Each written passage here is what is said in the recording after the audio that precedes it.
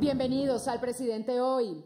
Durante la instalación de la decimosegunda cumbre de la Alianza del Pacífico en Cali, en la que participan los mandatarios de Chile, Perú, México y Colombia, el presidente de la República, Juan Manuel Santos, dijo que este año, con la implementación del protocolo comercial y la creación de la figura del Estado asociado, se marca un antes y un después en la evolución de esta alianza.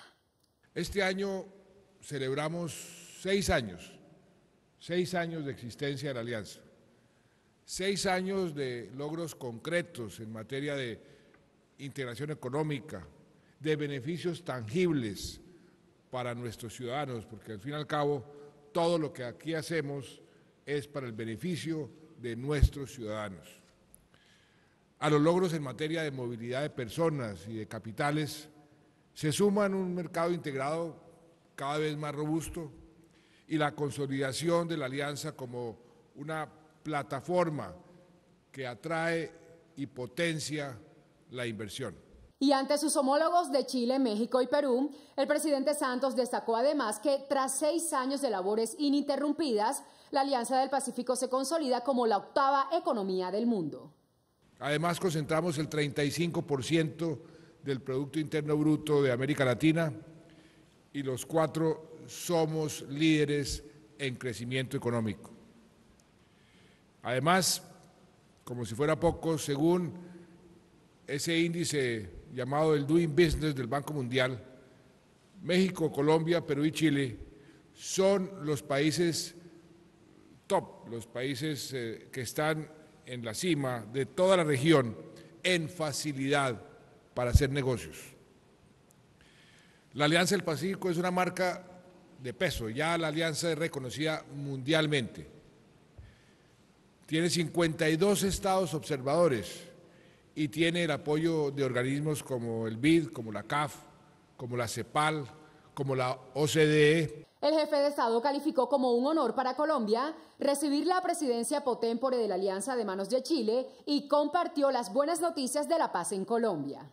No es coincidencia que esta cumbre tenga lugar apenas tres días, tres días después de culminado el proceso de dejación de armas por parte de la guerrilla de las FARC un paso trascendental en este camino sin retorno hacia la paz que está recorriendo nuestro país y quiero agradecerles de todo corazón a todos los países de la Alianza, México, Perú, Chile, eh, por su apoyo permanente a este proceso.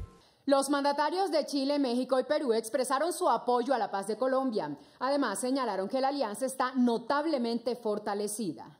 Estamos haciendo entrega de una presidencia pro tempore, de una alianza, como usted decía, presidente Santos, notablemente fortalecida en estos seis años de vida.